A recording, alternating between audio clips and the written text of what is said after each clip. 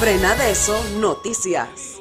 Pidiéndole el mayor apoyo a ustedes en el sindicato a conservar la unidad, a defender su convenio colectivo, ¿verdad? Y prepararnos para los próximos eh, momentos que se van a dar, porque van a vivir momentos muy difíciles. Ya el gobierno está hablando de modificar la caja del Seguro Social, pero no es para dar los beneficios, sino para aumentar edad, para aumentar densidad.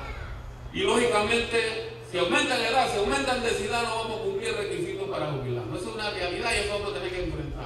Se está hablando de modificaciones el código de trabajo, pero no es para darle más beneficios a los trabajadores, sino para quitarnos los pocos beneficios que nos quedan. Y también se está hablando de reformas fiscales para eh, imponernos más impuestos. A eso tenemos que enfrentarlo lo vamos a enfrentar con el próximo gobierno que gane, cualquiera que gane se va a meter en ese problema. A excepción que gane el Frente Amplio por la Democracia, que tiene una cohesión, sabemos, ante el liberal y el fundamental. Y pedimos también, del apoyo para el sindicato, el apoyo para los candidatos del Frente Amplio por la Democracia, para representantes, para alcaldes y para diputados. Todos los que estamos aquí, con nuestra familia, con nuestras esposas, con los amigos, convertirnos en transmisores de información, de multiplicador de la información y de pedir el apoyo. Al presidente, como no, razón, sin lucha.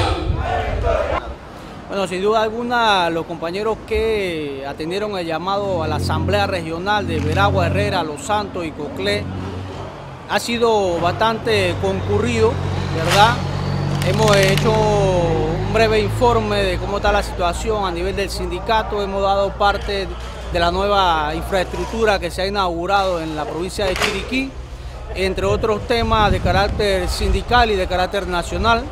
En la cortesía de sala, nuestro candidato presidencial, Saúl Méndez, por el Frente Amplio por la Democracia, los trabajadores han mostrado su apoyo a esta candidatura y a todos los candidatos obreros y a los candidatos populares, campesinos, indígenas y profesionales que han asumido este reto de poder eh, asumir esta tarea en la estructura política para efecto de poder darle otro, otra visión porque otro Panamá es posible. Vamos a destinar el 6% para la educación pública, que debe ser gratuita desde el jardín de infancia a la universidad. ¿A dónde van los hijos de los trabajadores a estudiar? en la, en la escuela pública. No hay. Hay que mejorar la enseñanza en las escuelas. Hemos cumplido en estos momentos una etapa más.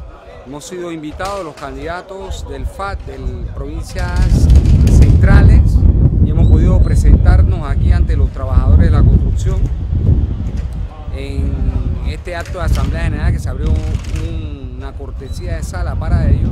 Hemos podido presentar nuestras propuestas en función del país que queremos y el país que tenemos. Así que estamos complacidos de poder haber estado aquí en este área con cientos de trabajadores de la construcción y también con los candidatos del Frente Amplio por la Democracia de la región.